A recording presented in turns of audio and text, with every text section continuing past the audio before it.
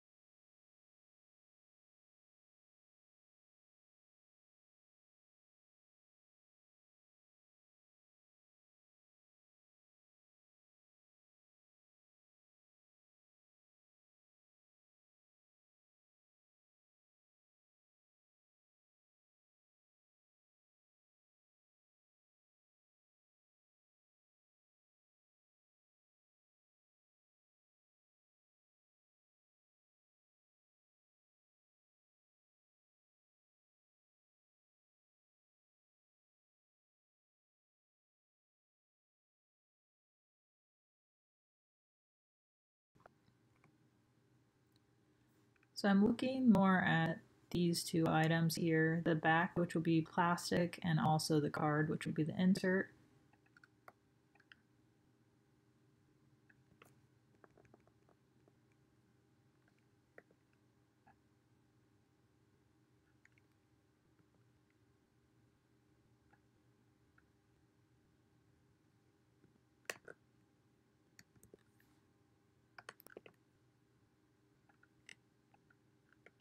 Going to make a working copy of this one and create the cutout out of this with the Pathfinder exclude.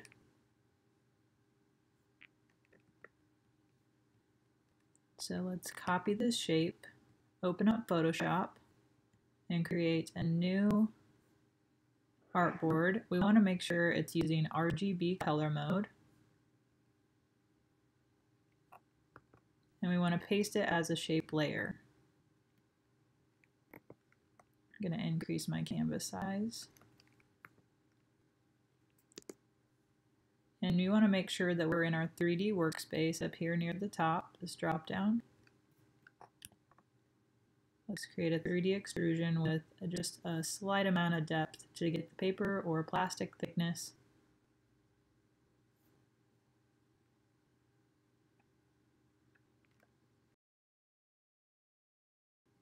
We can use our secondary view to look at the side of it.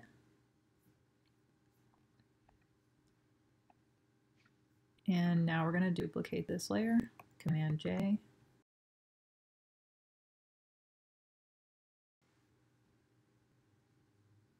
Next, let's create this 3D extrusion of where the packaging will live.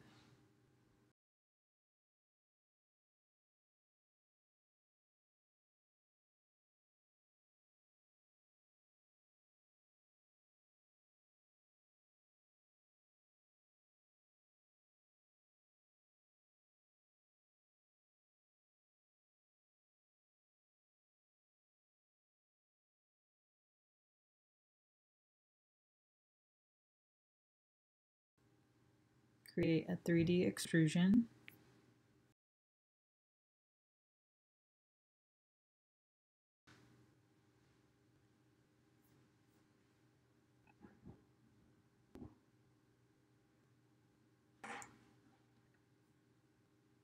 And I'm just estimating depth here.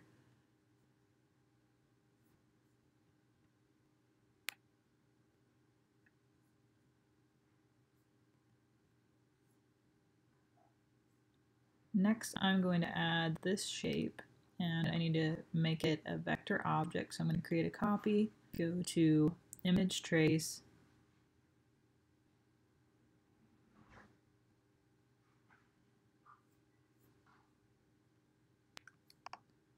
Now we can copy the vector shape.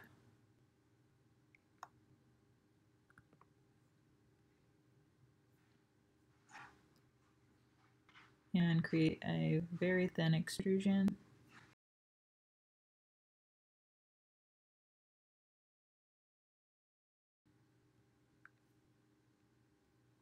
Next, I'm going to select all of my layers and go to 3D, merge 3D layers so we can work on the size and alignment.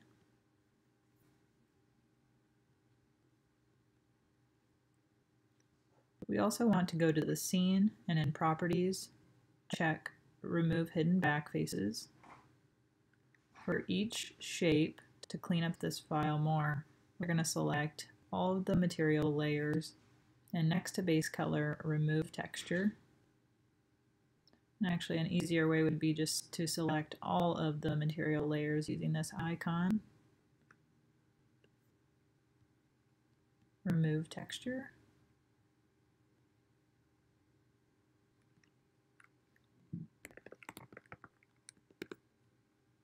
We can select all of these layers and Command G to group all of them.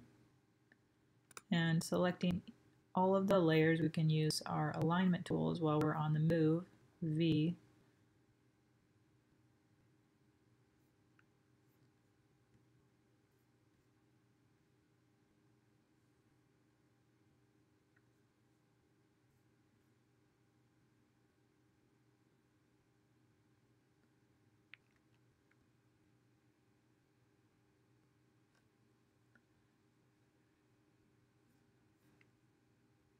I'm going to try to scale and align this so we can get it on this back plastic piece.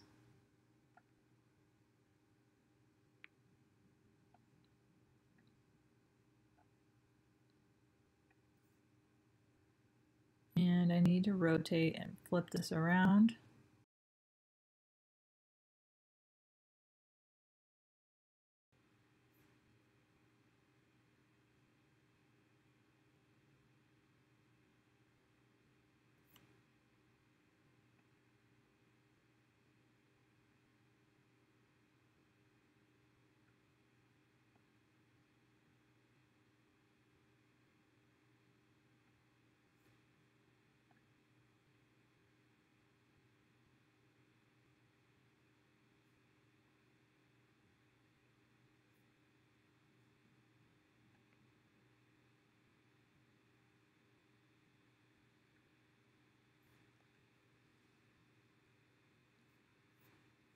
Can give this a little bit of a taper and you can look at it in the secondary view or main view. This little icon in the corner will swap views. And if we go to this third icon, you can select front or back or both and start creating a bevel.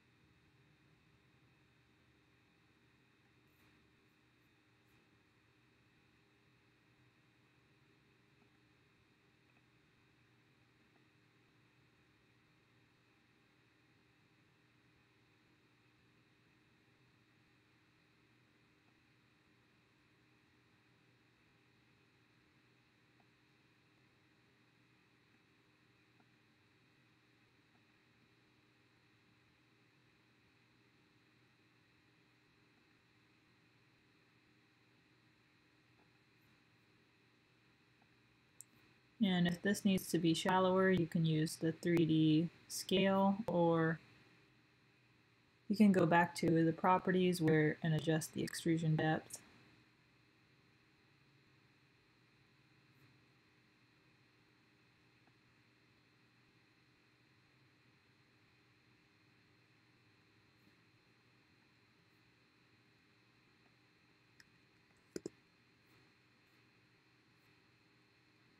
Instead of creating two plastic pieces, I'm just going to move this paper one in between those the plastic layer. we need to get back to default view, just click on default camera. And now we are ready to go to layers and export this shape. Go to 3D, export 3D layer, wavefront OBJ. You can adjust your dimensions. Open up a new document in Adobe Dimension. And you can delete any of the other objects except for that OBJ we exported. And you can drag and drop that object into Dimension and tap F on the keyboard to bring it into frame.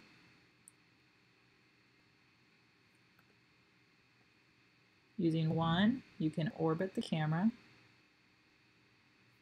And we can select multiple layers to apply the plastic material.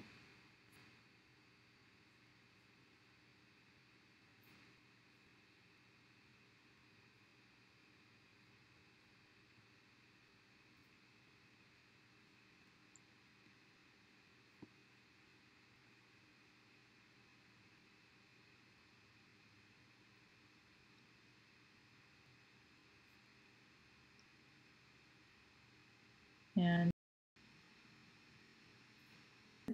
I'm going to add a decal graphic.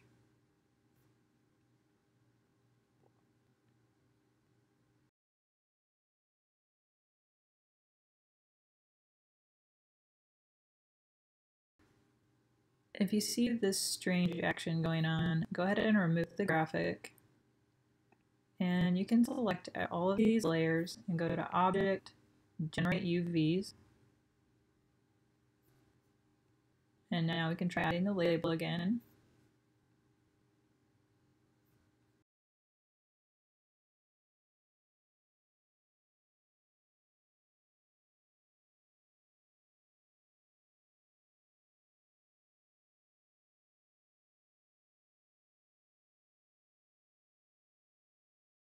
can orbit around until you're happy with the view and up here with the star and camera icon, you can save a bookmark. If I click that, I've saved a couple of views here for a front angle and a back angle. And if we go to the render tab, you can select both of those views to render. I tend to do the PNG, which is a little quicker and just a medium quality as kind of a base to get an idea.